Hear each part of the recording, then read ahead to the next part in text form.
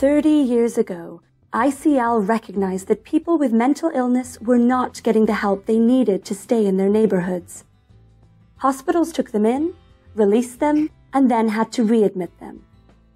Few organizations offered the community supports they needed. Dr. Peter Campanelli founded ICL in 1986, assuming the operations of a 150 bed residential facility in Brooklyn.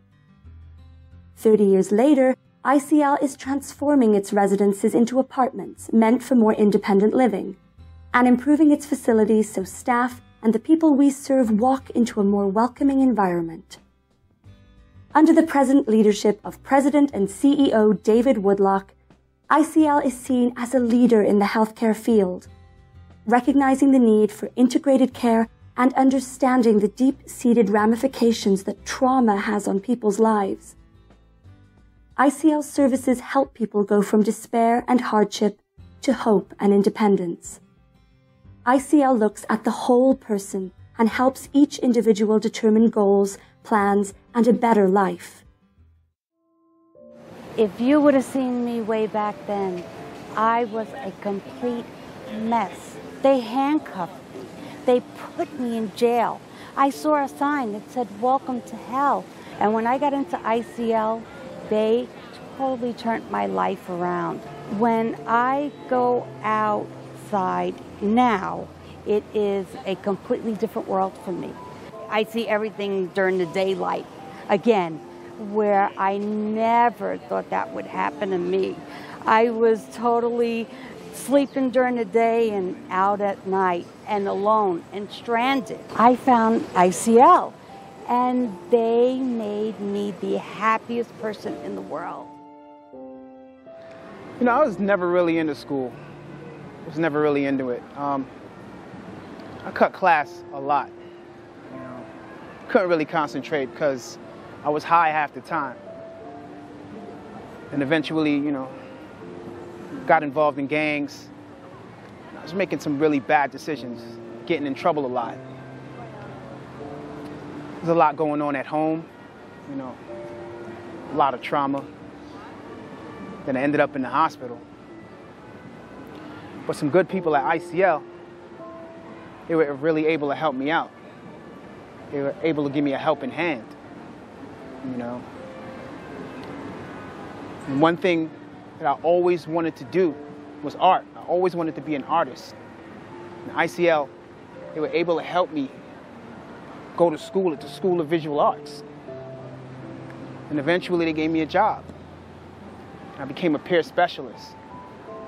One important thing that the good people at ICL was able to do was listen to me. They really believed in me. Who would have thought back in the day when I was sitting in Bedford Hills Correctional Facility for selling drugs, which I was also using, that I would be in this place I am today. I was released, and upon my release, I went to a shelter and I became and I met ICL. Today I'm in my own apartment. I'm able to take care of my own health, which I wasn't doing back in the day, obviously, because I was on drugs. I'm also um, have really been empowered in this program where I'm able to help myself to help others. I learned how to take care of my bills while I was here. I, I do my own shopping. My whole lifestyle has changed since I was in ICL. I'm so thankful for ICL, and I'll be 65 years old in eight days. Problems. You think you've got problems. Believe you me, I have problems. For example, visiting the doctor was just something that I would never consider doing. Sure, I had aches and pains, but no doctor would be interested in helping the likes of me or so I thought. I've been with ICL for quite a while now. My case managers worked with me to stabilize my medications and my mental health. But they did even more than that. They noticed the elements I was trying to ignore. With their help, I realized that maybe doctors weren't so bad after all. After all. Now I see my internist on a regular basis, and she connects with the people at ICL who are helping me. And it all works hand in hand. The medications I take for my mental illness must work well with those I take for my diabetes and high blood pressure. ICL made me realize that and make sure that all my healthcare providers know and talk to each other. In many ways, you can say that ICL saved my life. I am proud to support ICL for all the work they do on behalf of my constituents. They truly are in the forefront of the issues when it comes to mental health and making sure that our constituents are being serviced. I joined the borough president securing $750,000 to expand their services in East New York, and I look forward to seeing the development of that project. I really want to congratulate you on, 30th, on your 30th year anniversary. And when you look at the success of this borough, people normally look at the beautiful buildings. No one focuses on how we build people to make people better, particularly when they go through traumatic experiences. That's what ICL has done for 30 years.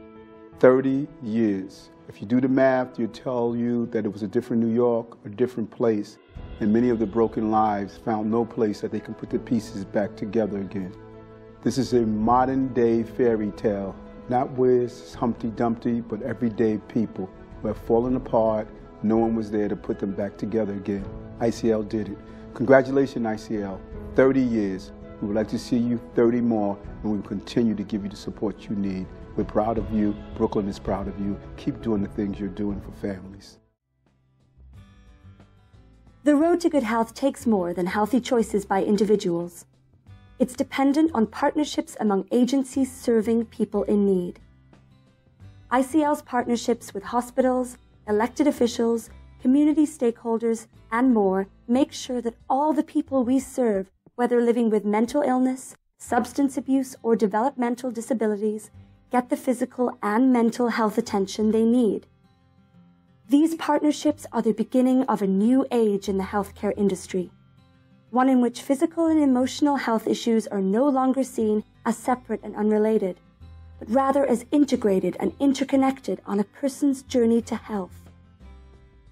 What's more, ICL services extend beyond individuals to strengthening families, building communities, and creating brighter tomorrows. Life was hard growing up. I feel proud being a father. ICL supports me in everything I do, and my case manager helps me a lot. And everything's to be okay. I love you, Daddy. when we get home, what you want to eat? Okay, we can eat that.